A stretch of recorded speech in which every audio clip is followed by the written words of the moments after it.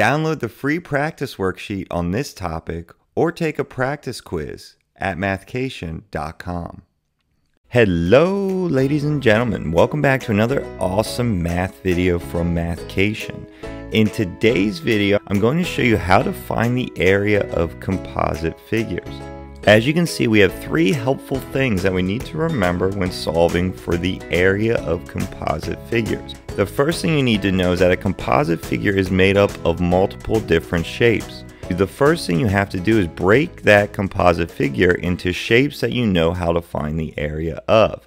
Typically, this could be like rectangles, triangles, or circles.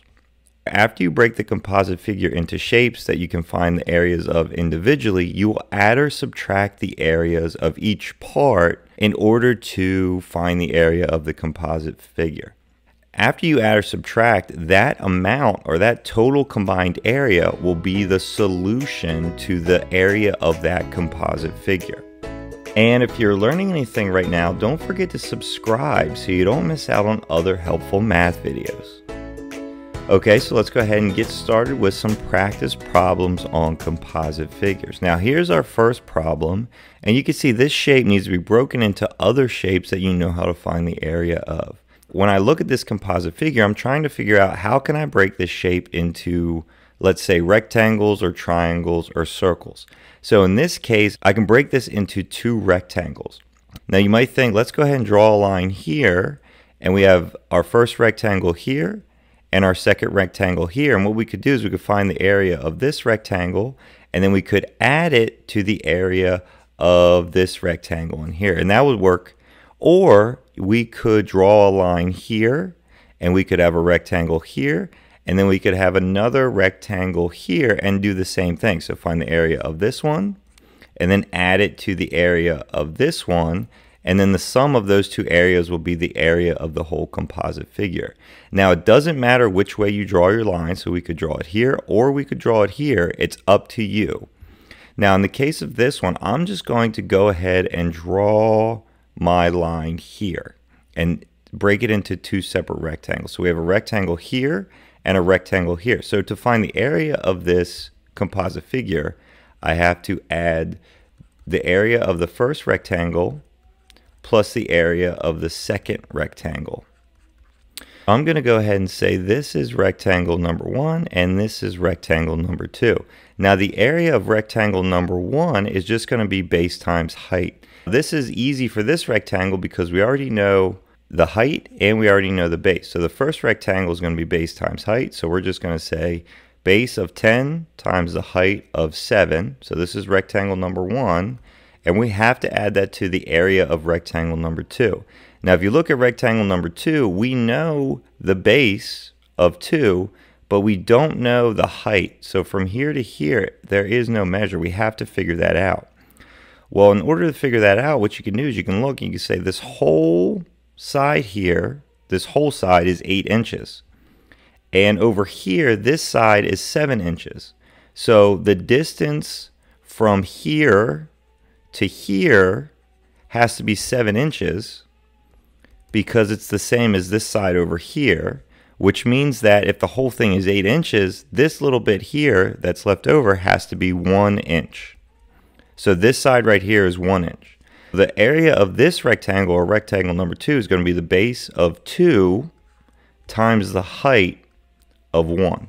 We're going to find the area of rectangle 1, which is 10 times 7, so this will be 70 and then add it to the area of rectangle number 2, which is 2 times 1, and that's going to be 2. So the total area is you're going to add those two together, and 70 plus 2 is 72. Now our units are inches, and because we're talking about area, it's going to be inches square. So the area of this composite figure is 72 inches squared. Moving on to the next practice problem, this problem gives us, this practice problem gives us a different composite figure that we have to find the area of. Now you might notice right away, this time we have a rectangle and a triangle. So it's a little bit different than the last one because we have a triangle this time. The two together, the area of this rectangle and the area of this triangle, are going to add up to the area of our composite figure. So we're going to find the areas of each one individually and then add them together.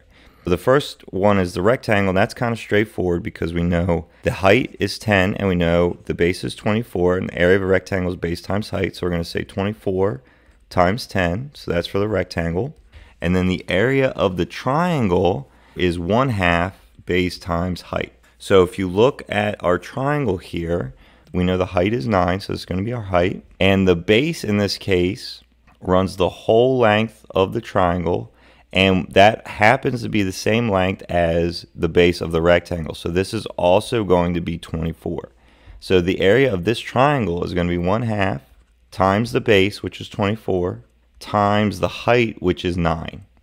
We're going to go ahead and find the area of each shape individually. We're going to do 24 times 10. Well, that's 240 plus 1 half times 24 times 9. And when you multiply those, that will be 108.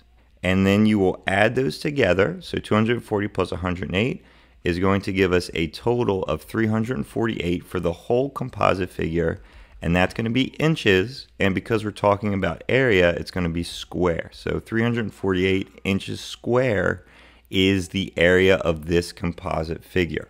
And finally, the last practice problem we have gives us another composite shape that is made up of what looks like a rectangle and a triangle. So again, we're going to add the area of this rectangle plus the area of this triangle.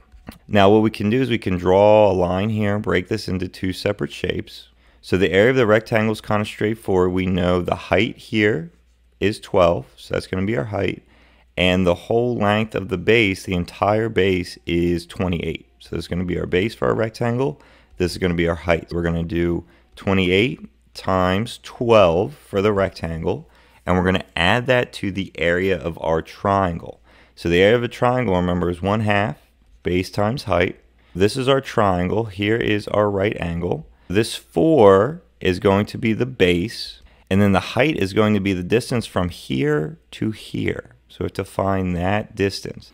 The way we're going to figure out that distance is we're going to draw a straight line across here. We know from here to here, all the way across, we know this distance is 22. And we know the full distance is 28. So to find this missing distance, it has to be the difference between 28 and 22, which is just 6. So this height is going to be 6 inches. We're going to say 1 half times the base, which is 4, times the height, which is 6. We're going to find the area of each individual shape. The rectangle is 28 times 12, so that's 336, plus the area of the triangle, which is 1 half times 4 times 6, which is going to be 12. And then to get the total area of this composite figure, you have to add the two together. So we're going to say 336 plus 12 and we will get 348 and the units are inches so it's going to be inches square and that's going to be our total area of this composite figure and if you want to do some practice problems on finding the area of composite figures, go ahead and click the link in the top right corner of your screen to do some quick practice questions that will grade themselves and tell you how you did. Thank you so much for watching. Please like this video if you got something out of it and drop a comment telling me if this video helped you or if you need help with something else. See ya!